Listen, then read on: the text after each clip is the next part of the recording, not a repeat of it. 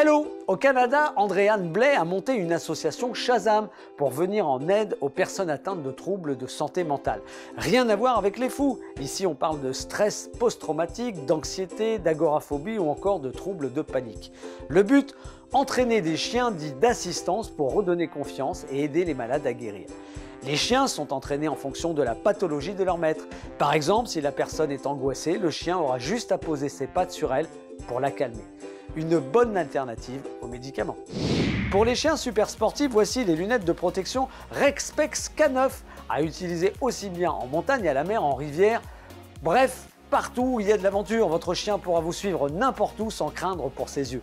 Développées par des Américains, les Rexpex K9 sont les lunettes idéales.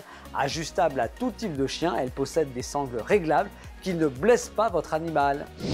Le saviez-vous? Le premier chien conçu par clonage s'appelle Snoopy. Dans l'agenda, la Société canine du Barin organise une exposition nationale à Strasbourg. Ça se passe le 28 août prochain. Tout de suite, le zapping buzz du jour, 5 secondes pour vous faire sourire.